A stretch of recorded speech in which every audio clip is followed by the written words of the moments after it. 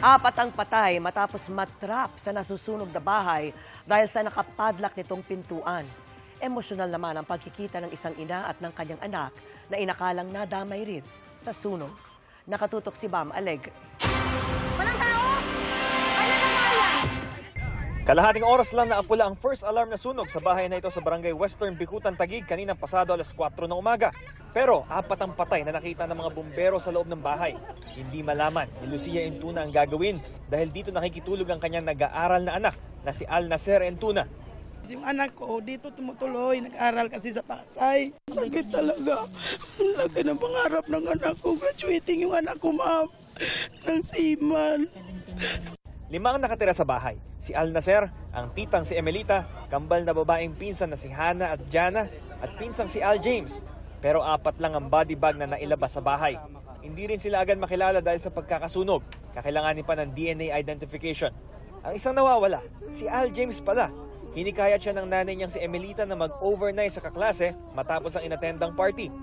Nagmadali siya umuwi nang mabalitaan ng sunog. Pero wala nang nadatang pamilya si Al James pag uwi.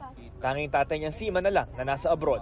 Sabi po kasi ni mama, may masama daw siyang panaginip about sa akin. Like, na-aksidente daw po ako. Kaya po di po ako pinatulog sa kanila. Pinipilit ko po na gusto ko matu matu umuwi, umuwi. Tapos ayaw po talaga. Ganito ang itsura ng bahay matapos ang sunog. Ito yung tanging lagusan palabas ng istruktura. Ang nag-iisang exit point nakapadlock din daw dahil may tindahan sila sa labas. Bukod dito, posible rin daw na trap na sa kwarto ang mag-anak nang sumiklab ang sunog batay sa kanilang investigasyon. may tindahan na maliit sa harap. So yung security nila is yung padlock. So sinasara nila, pinapadlock yung pinto. Pero yung susuyan niya, nasa loob. Pag may tao sa loob. So yung access sa loob din. Then nakita namin, naka, yung doorknob is nakapadlock din. So hindi na talaga sila naka labas pa doon sa main door.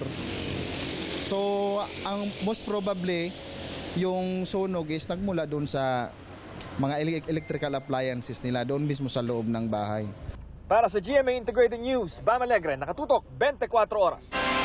Mga kapuso, kasama nyo kami 24 oras. Mag-subscribe sa GMA Integrated News sa YouTube. Sa mga kapuso abroad, bisitahin ang GMA Pinoy TV at www.gmanews.tv.